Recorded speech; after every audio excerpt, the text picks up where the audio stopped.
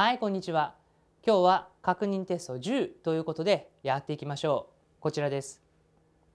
演習の1ですね。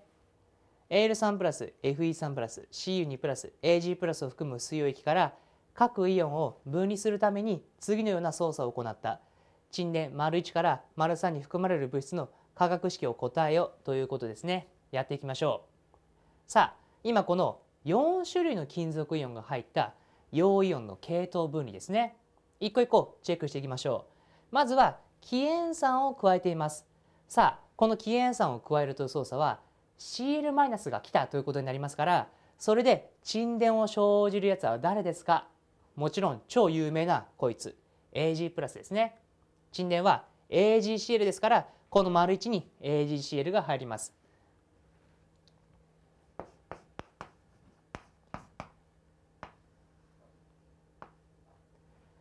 OK ですか？さあちなみに他にもこの塩化物イオンと仲がいい金属イオン覚えてますか？鉛ですね。PbCl2 ありましたよね。そこも要注意です。ちなみに PbCl2 は熱水つまりお湯ですね。溶けちゃいますから。それも覚えておきましょう。今回は AgCl でしたね。さあということで Ag プラスがここに沈殿しましたから残ってるのは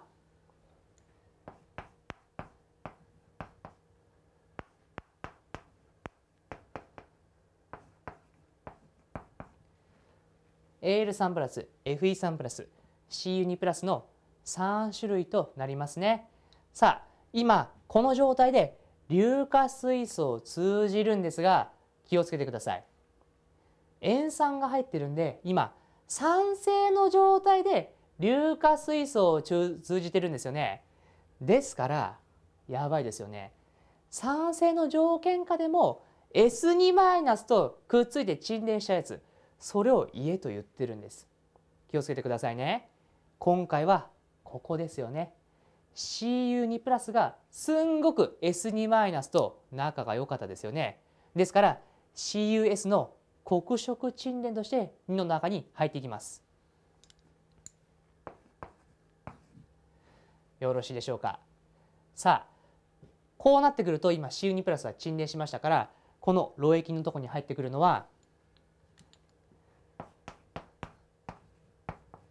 AL3 プラスと FE3 プラスって言いたいとこなんですけどダメです。硫化水素を1回通じてしまったのでこいつ還元剤ですよね。ですから FE3 プラスは還元されてなんと FE2 プラスとしてこの漏液の中に存在しています。さあそうすると最初にいた時と状態が違いますよね。これじゃ話にならんということで次の操作ご覧ください。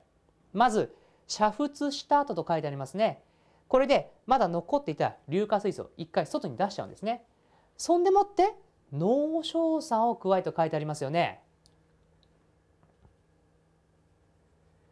濃硝酸といえば強烈な酸化剤でしたね。そうこの酸化剤を加えることで Fe2 プラスをこうするんです。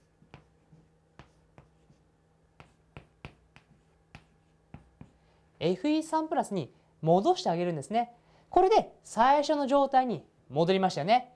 この状態で過剰の水酸化ナトリウム水溶液を加えるんです。そうしたら漏液と沈殿で分かれますよね。この過剰のってのがまたポイントでしたね。過剰の水酸化ナトリウムで溶けてしまうのはアルミと FE3 プラスどちらですか？溶けるのはアルミでしたよね。これはテトラヒドロキシドアルミン酸イオンとして漏液の中に残ります。そして沈殿酸の方には FE3 プラスが過剰の水酸化ナトリウム水液これ加えることによって沈殿として水酸化鉄酸として沈殿しましたね。ということで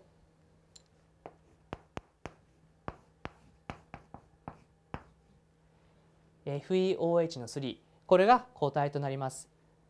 よろしいでしょうか？一応この漏液のイオンも書いておきますね。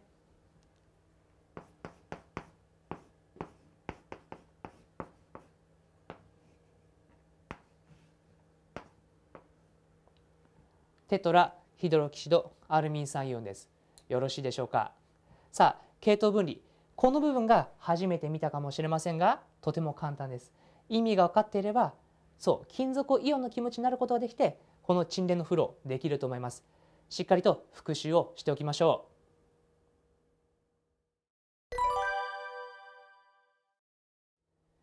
続きまして演習2ですねこちらです。次の1から3の金属を主成分とする合金の名称を答えよまたそれぞれの合金の特徴として最も適したものを次の「あ」から「う」から選べということですね。やっていきましょう。さあ「あ」「い」「う」いろんなのがありますね。そして123ですがとても有名なものが出ているの。気づいてますか？やっていきますよ。まずこちらなんですが黄色みを帯びており金管楽器などに利用されているなんて書いてありますよね。さあこれに該当するやつ先に見ていきましょうか。これどれですかね？金管楽器っていうのが大きなポイントなんですね。そうブラスバンドってよく言いますよね。これ行動ですね。ですから銅が入ってなきゃいけません。そうすると今回はそう銅とあともう一つ金管楽器といえばこのブラスには亜鉛を使います。ということで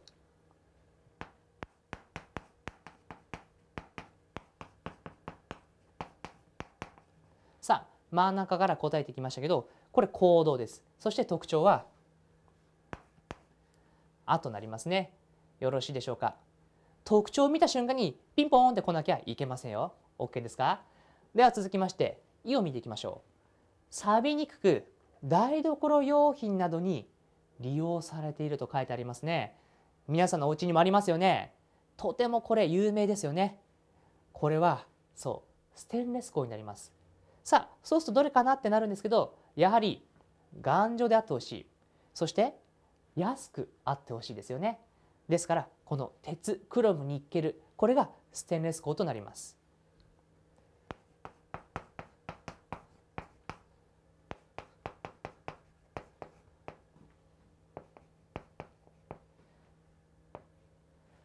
そして特徴はいいでしたね。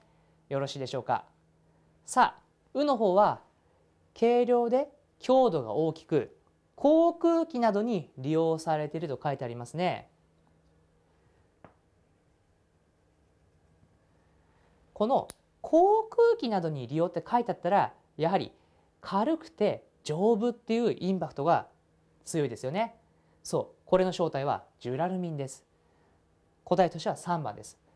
アルミが主成分、そしてそこに銅とかマグネシウムが入っています。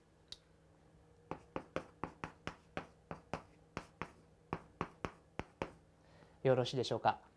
特徴の方は「う」となりますね。さあとても有名な合金3種類です。これ絶対に答えられるようにしてください。特徴も大変分かりやすい身近なものばかりですから絶対に頭の中整理しておいてください。